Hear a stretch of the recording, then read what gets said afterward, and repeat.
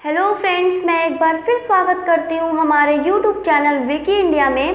दोस्तों, आज का हमारा ये वीडियो उन लोगों के लिए खास होने वाला है जो लोग पर विश्वास करते हैं।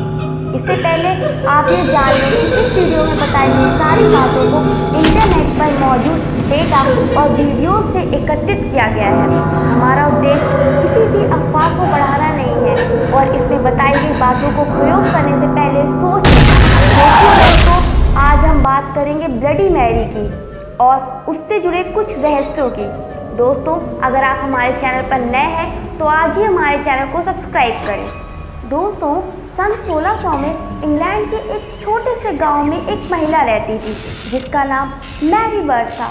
यह दिखने में बेहद ही खूबसूरत थी और मात्र 18 वर्ष की आयु होने के बावजूद ये 70 साल की महिला की तरह दिखती थी। यह डरावनी दिखती थी, जिससे गाँव का कोई भी व्यक्ति मैरी से बात नहीं करता था। सभी इसका डरावना रूप देखकर डर जाते थे, जिससे यह गाँव के बाहर झोपड़ी बनाकर रहने लगी। मगर अचानक से गाँव में एक विचित्र घटना शुरू हो गई। गाँव में छोटी छोटी लड़कियाँ रहस्यमय रूप से गायब होने लगी थी। लोगों का मानना था कि मैरी एक जादूगरनी है और मानते भी क्यों ना जैसे जैसे लड़कियाँ गायब होती, मैरी की खूबसूरती और जवान होने लगती थी। और एक दिन गाँव ने मैरी को एक बच्चे की बलि चढ़ाते हुए देख लिया।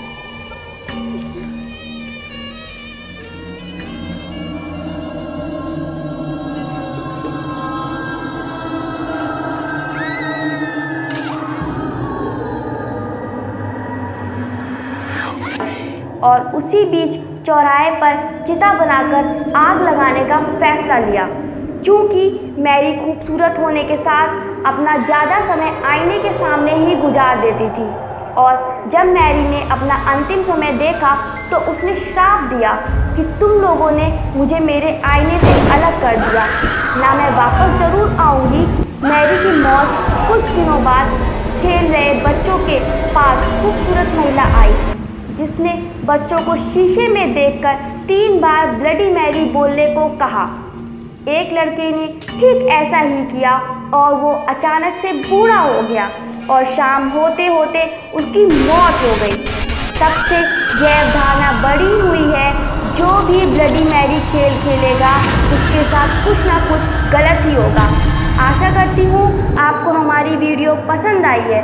तो प्लीज़ लाइक करें, अपने दोस्तों के साथ शेयर करें कमेंट करें और हमारे चैनल विकी इंडिया को सब्सक्राइब करना ना भूलें। वीडियो देखने के लिए आपका बहुत बहुत आभार।